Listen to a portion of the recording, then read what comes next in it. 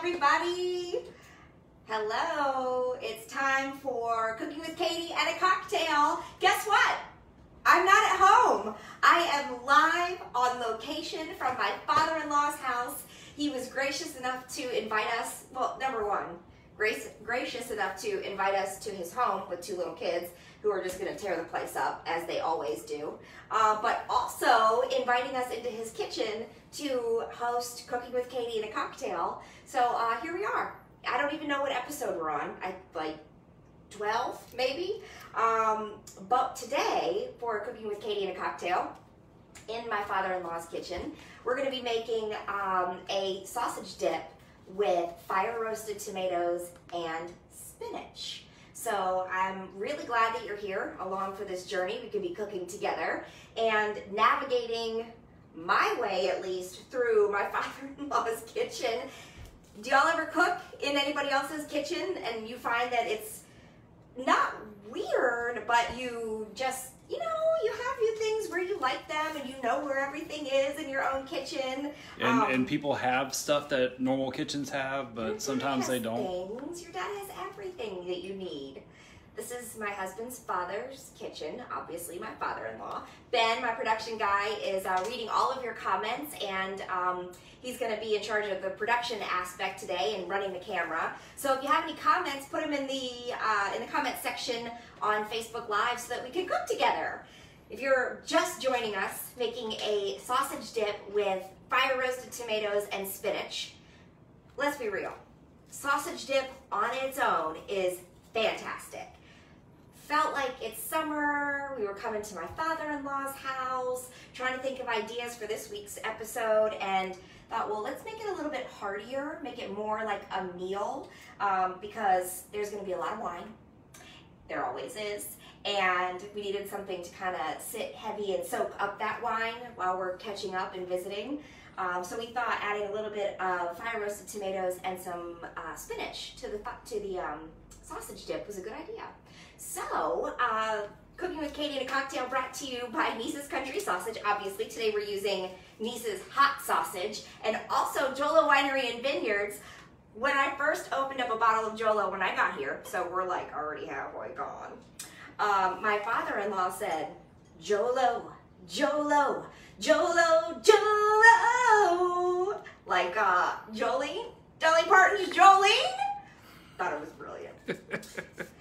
already been into the sauce. Uh, no, this is uh, Jolo Winery Vineyards Crimson Creek. Love it. It's uh, a light red, and so I thought it would be perfect. Does pair very nicely with pork. So I thought that it was a good choice for today.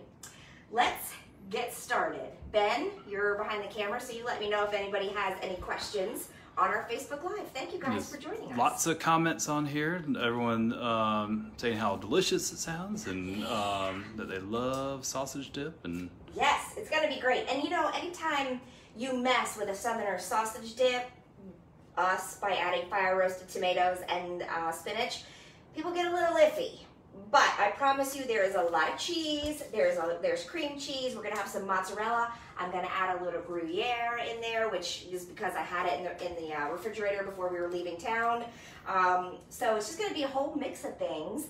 And we're going to, when the dip is in the oven, gonna slice up a baguette and make some crostini. You could serve it with crackers. You could serve it with tortilla chips. You could eat it with a spoon if you wanted to because it's gonna be that good. So I have on uh, the stove here, and again, I'm just disclaimer. This is my father-in-law's kitchen. I do cook in here quite a bit, uh, but you know, but you usually don't remember it. Truth, truth, it's true. hundred percent It's truth. true. What about the time you dropped the um, the twice baked potatoes into the oven Yes. upside down? Ben and I were not even engaged yet, and we had come here for um, Christmas. It was Christmas, and we had left my family's house. I'm putting a little bit of olive oil into the pan, by the way.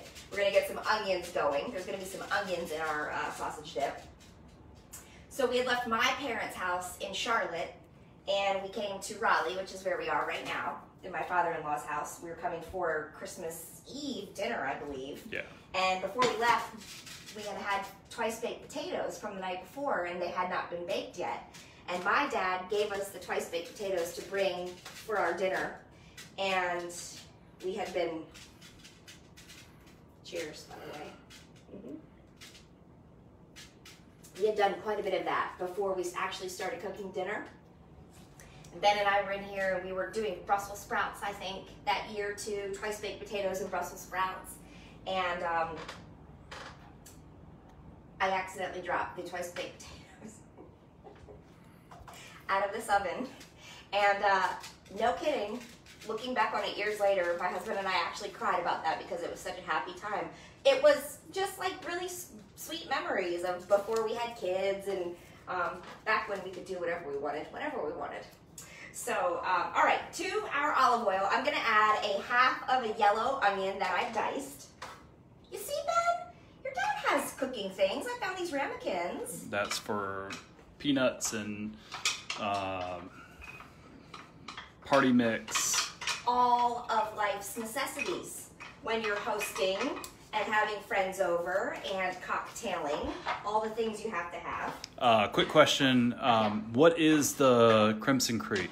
Crimson, Creek okay, so it's a, a red wine, and I liken it to um, a Pinot Noir because I think that it is not, it, it's like a, it, I don't want to say light bodied, but it's like a medium bodied wine, and um, I just happen to think that it is along the lines of a Pinot Noir. I think it goes very nicely with pork, obviously. I think it goes very nicely with chicken, which a lot of people think when you are having white meat that that goes, that skews more white wine.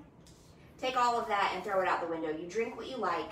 I like a medium bodied uh, red wine and that's what I find with Crimson Creek. Has um, some mocha undertones, also blueberry undertones are in there as well. So um, I think it's just a really nice red that is um, so. I it's weird to say so drinkable, but it really it's not too heavy. If that makes some sense for you, you need to try, try it. Try it for yourself. Visit Jolo Winery and Vineyards, but Crimson Creek is one of my favorites. All right, so we're gonna get these onions um, going. We're gonna saute the onions. I hope that I did that justice for Jolo Winery and Vineyards because I really do love it, and I don't want to. Um, I don't want to compare it to like put it into one category, but if I had to, I would say Pinot Noir. Not as heavy as a Cabernet. Um, so while the onions are sweating down, we're also going to get our garlic ready. I have a lot of garlic in here, um, but it really, once it's all, you know, peeled and pressed through my garlic press, uh, I think it's about a tablespoon to a tablespoon and a half. So let's get that ready. Move my wine out of the way. Hey, I did find this. I did find this in Ben's dad's kitchen, and this is of no help to me at all. The tiniest little cheese grater you've ever seen. It's a good way to lose a finger. Said I won't be using this, but I will be showing everyone. Also, um, scissors. What is it? Scissors. Hey, where are Like probably right one right there, maybe. Hey! There yes. There they are. Thank you. Okay. Also cooking with my friends. Can you see these on camera? Uh, yes, Amen. yes. No reason to put them away. Uh, no, this is fun. You get to cook with people. Says, I cook with wine sometimes. I even add it to the food. Here he is. And this guy. I don't know if you can see him. It's fun cooking at my father-in-law's house. You never know what you're going to find. Look at him. They're your friends. All right. We have onions going down. We're going to get this garlic ready. So do y'all, what's the craziest thing when you're cooking at somebody else's house? I, uh, really for me, it's like I know exactly what we have. I know what kind of utensils I want to use, and um, you know, you make do as you go along. That's all. I'm gonna get this garlic ready for the garlic press. Some of the things we did bring from our house, like I, Ben, you said that you thought your dad had a garlic press, but I wasn't sure. I could slice it myself. Does he have one? It's probably up in that weird um, carousel thing Alright. of Well, I brought 40, my own. 45 year old utensils. brought my own. I just didn't want to be without. Um, and it's one of those things that just makes my life a lot easier. Could spend time chopping it, but peeling the garlic. Thought I did a good job of smashing these out of the case, but. And again, um, these this is four cloves of garlic into the press, about a tablespoon to a tablespoon and a half. What are you laughing about? Just, um, Julie was telling me that I uh, do not need to tell all of Katie's mishaps Yeah. from. He is, is exactly right. All right. Whatever, cooking with me is fun. Even my kids say so. They said, Mom, you doing your cooking thing today? And I said, Yes, I am. Oh, by the way, the kids are upstairs with Granddaddy. God bless them. He Good took a bottle of wine upstairs with him. I mean, for himself, not for the kids. But I took a bottle of wine up there. and We said, "See you when the show's over." what do you think? Maybe, maybe one of them's coming downstairs. All right, we're gonna press this garlic into our pan. All that goodness in there. Oh, it smells so good. If nothing else, we will totally trash this place. The kids will anyway, but I'll leave it smelling delicious. Oh my goodness, my dad is watching. Is it? Hi, Granddaddy. Okay. So, Is he watching me or is he watching the kids? I'm not sure. All right. Oh my gosh, you guys, it smells so good in this kitchen. In for a real treat. All right, the onions are sweating down nicely. We are going to add a teaspoon and a half of Italian seasoning. It has some basil in here, some marjoram, some oregano. Uh, there's a little bit of sage. You can make your own Italian seasoning. I just happen to have already uh, a pre-mixed Italian seasoning, so you can make it yourself, and um, it smells good, doesn't it? it does. Oh, good. Um, and a teaspoon and a half is what you're going to add. I'm Gonna get that into. Richard commented, commented that you finally got a new kitchen. I did. I had to leave my house to get one. All right, so add that in.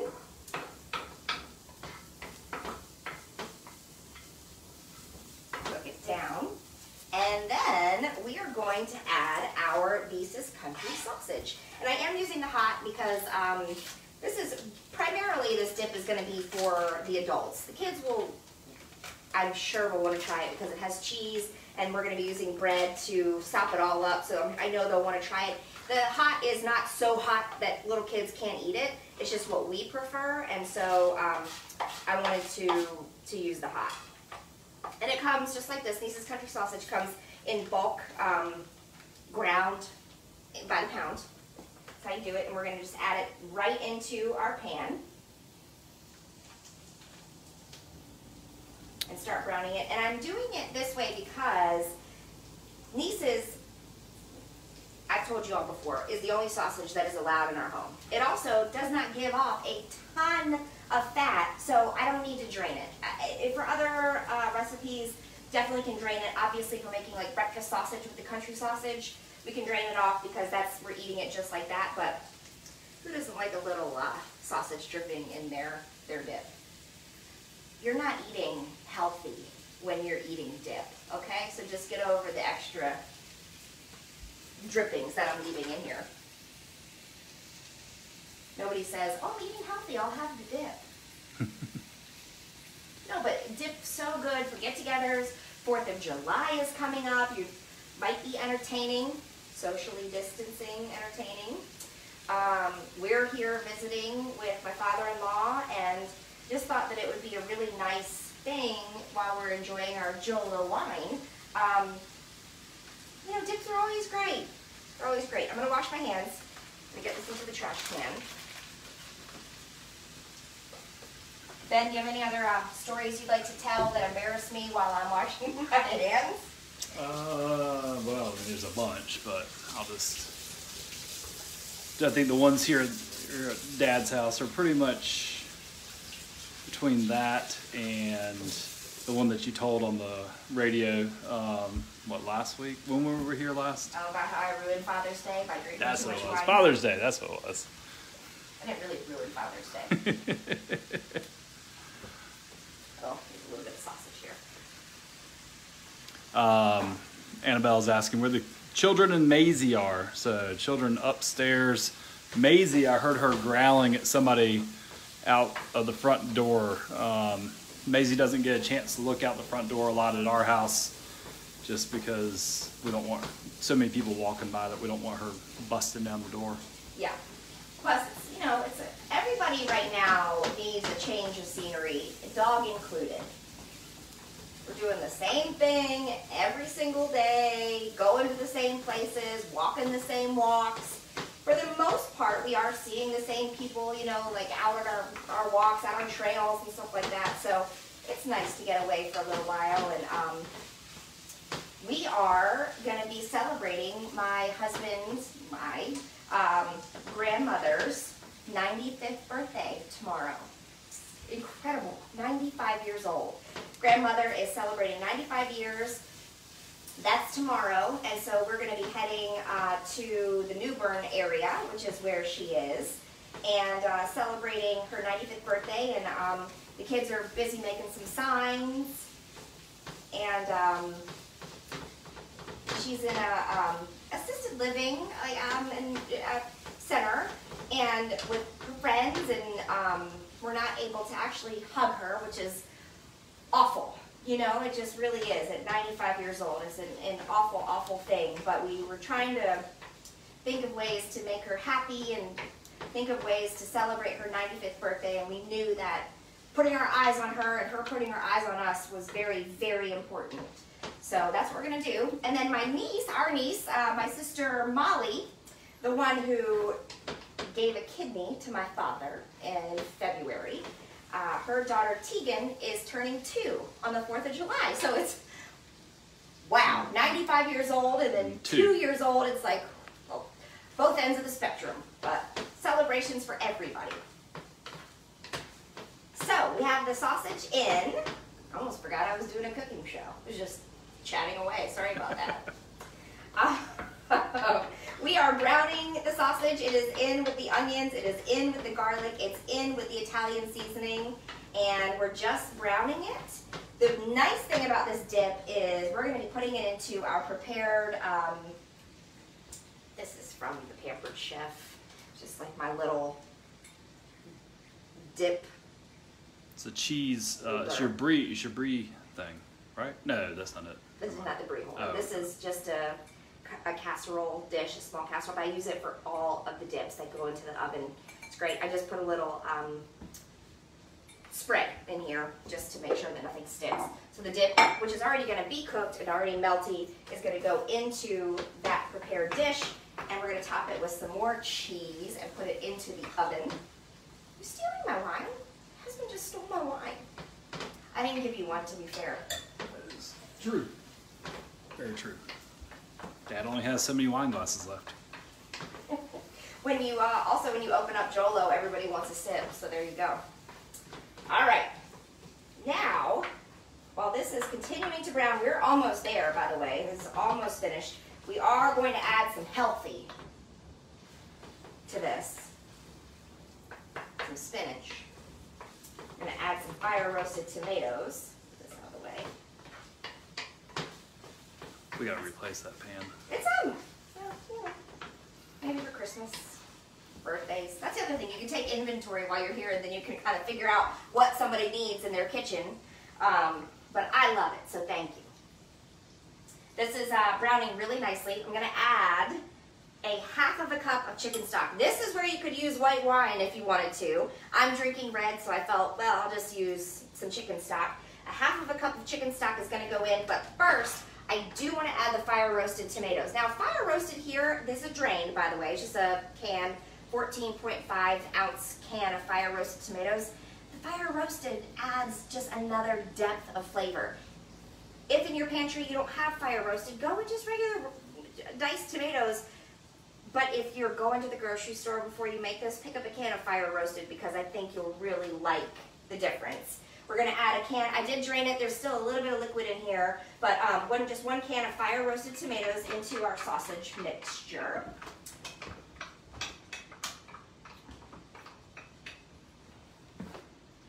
And get that all incorporated. And then I have chopped up about four cups of baby spinach. You don't really have to chop it don't don't waste your time is what I'm saying. Don't waste your time chopping neatly and uniformly. Just make it into some smaller pieces because we all know that when you are cooking spinach, it wilts down from this much to this much in a matter of time. So um, I would say about a good four cups of spinach, baby spinach, just roughly chopped. Could even just tear it up before you put it in here. Tear it up. just tear it up.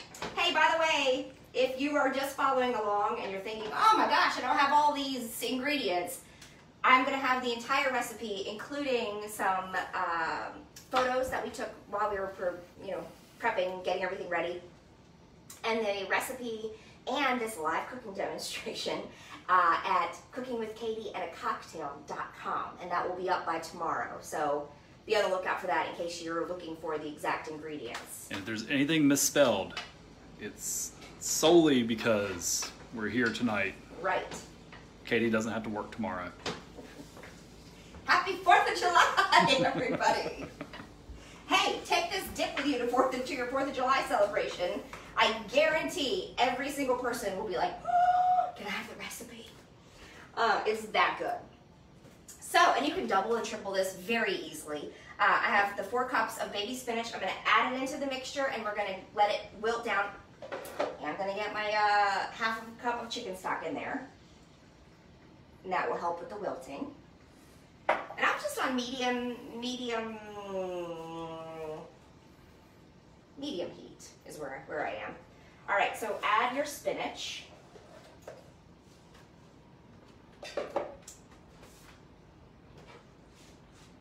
And watch how within a matter of seconds, this goes from pile high overflowing to, oh, there's spinach in there? That's weird.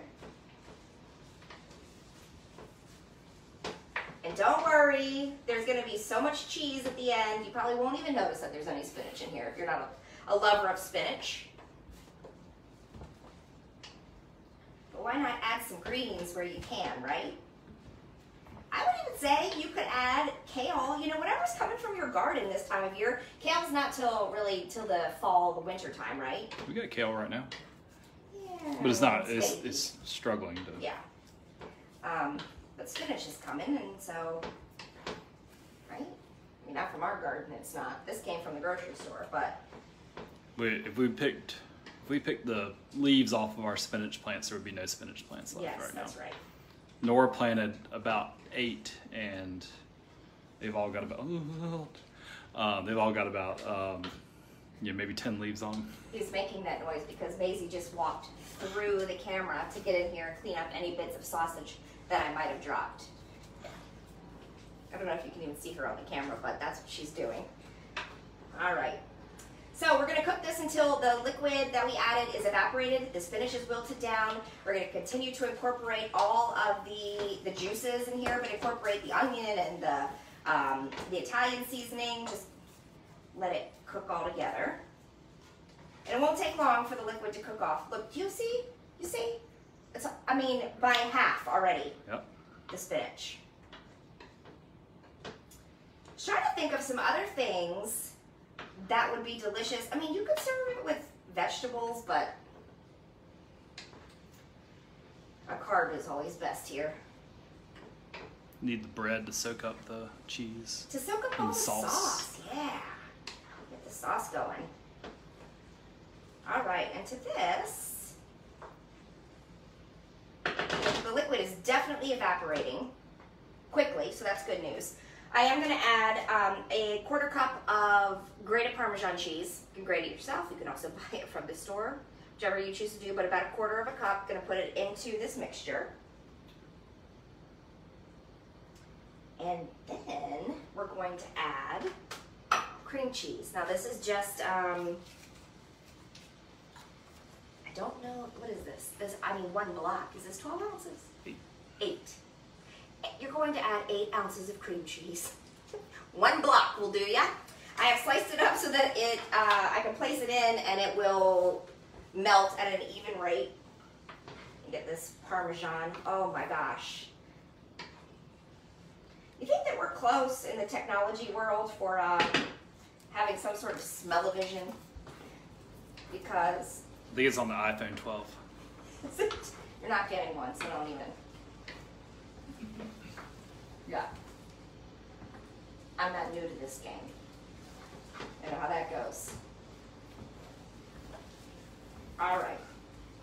I'm gonna turn the heat down just a little bit, and we are gonna add the um, the cream cheese in. Just I cut it into just tiny little squares so we can get it all melted. Now I didn't because we're traveling. I did not prepare. I feel like we've kind of been in. Um, trying to get into the habit of preparing a dish beforehand if it has to go into the oven to show you what it looks like because it you know you want to see how it all all turns out. I didn't do that today. So be sure after this episode of cooking with katie and a cocktail is over to come back and check out our photos because i will i promise you i will post some photos of what this all looks like when it's all said and done including the little toast points or the crostini that i'm going to make post all of that. And again, cooking with Katie and a cocktail.com, everything we posted photos, video. I always uh, include a final say on my blog to talk about how I would change the recipe or um, things that we decided to do a little bit differently or things that might have gone wrong. Like one time we were cooking and I forgot to add all of the fresh herbs. So I added that in the final say, like, hey, don't forget to do that. Um, it's just kind of a little hindsight is 2020 type thing as we're cooking along. So we're almost ready to get this into the oven. And by the way, the oven is 375. You're gonna cook the dip. It's gonna already, everything's already going to be fully cooked. So we're looking for the cheese that's on top to just be fully melted and bubbly and a little bit brown on top. But 375, I would say for about 15, 20 minutes.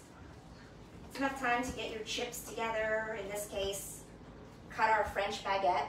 Show you. French baguette. I'm gonna rub, rub a little bit of garlic on there and some olive oil and put it into the oven as well so be ready when the dip is.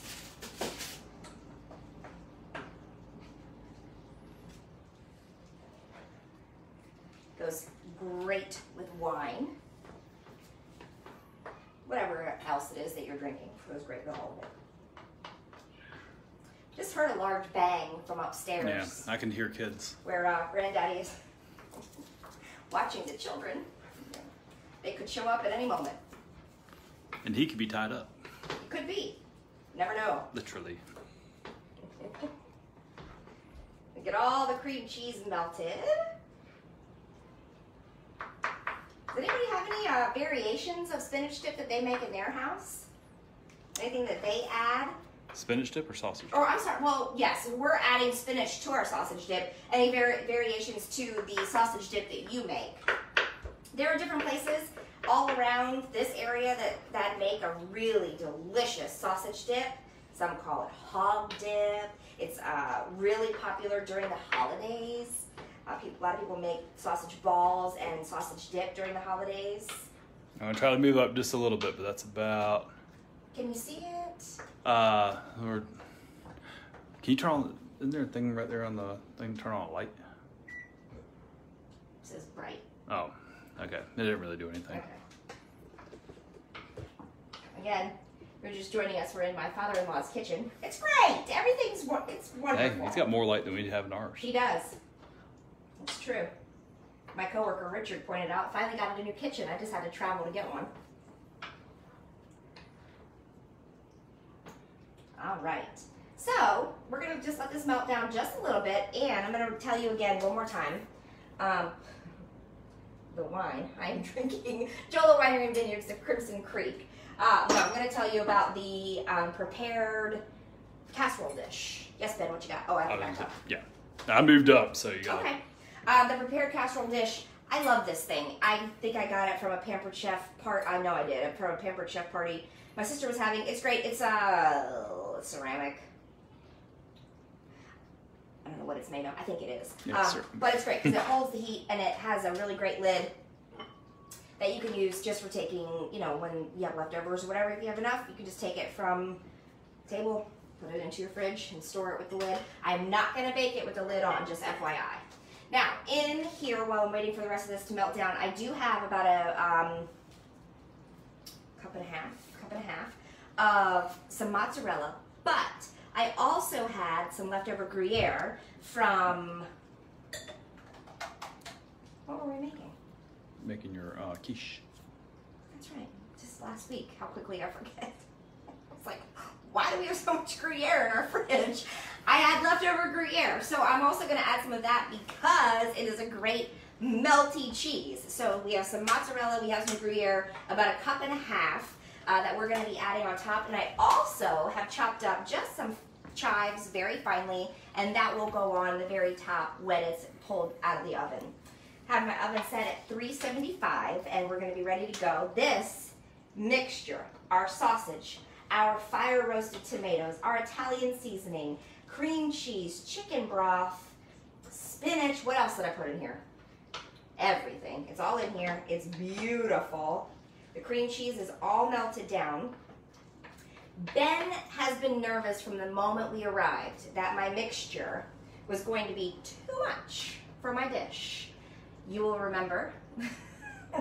Fully, remember fully believe it. that when I made the quiche, which I forgot about till two seconds ago, um, that when I made the quiche, I overdid it and I overflowed it. It turned out to be delicious anyway, but I'm going to try not to do that here because we are cooking in my father in law's kitchen and I would prefer not to be the one to have to clean that all up. So now that this is ready, if there's a little bit of extra, I will just put it into a container and bring it home with us. What about that spoon that I got for Christmas? Would that help you spoon it in Well, there? I mean, it would have been helpful to pull out before July cooking show. Got it. All right, I want to make sure you have a front row seat to all of this. Check it out.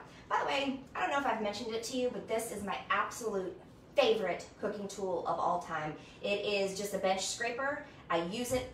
It had to come from our home to Raleigh so that I could have it because I rely on it for everything. I love it. It's one of my favorite tools in the kitchen, if not my most favorite, besides my garlic press. And uh, Annabelle did say uh, you could use a ladle, and I was like, yeah, probably Yeah, ladle too. sure, I'm sure there's one in there. Yeah. Um, We just knew because we had purchased these, which are awesome. Ben, a tell a little, little bit about uh, this. it's a silicone, um, just a silicone spoon, like stirring spoon, Yeah. Uh-huh. and it's fantastic. It just Mhm. gets into all the corners on your pots and pans and stuff like that. You don't have to worry about scraping your pan because Yeah. it's not made of aluminum or steel.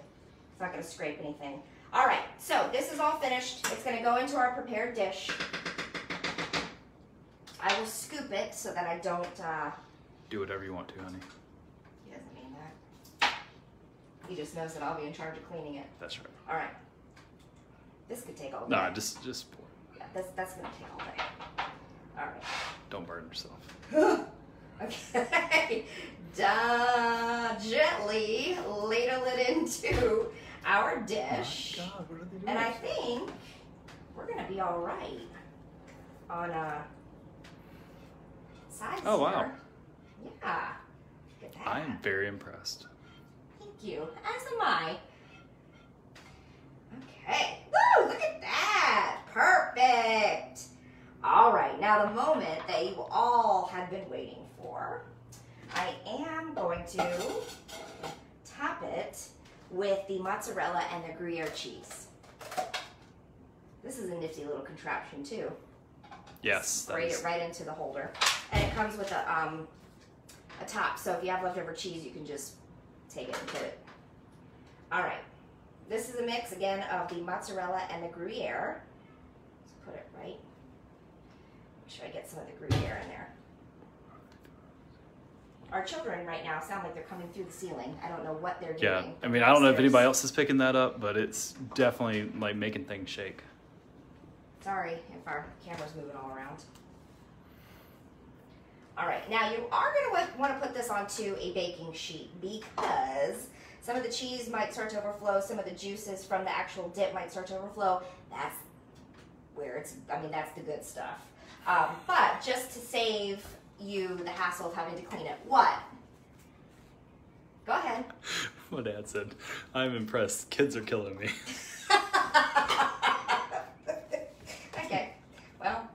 you for, for them.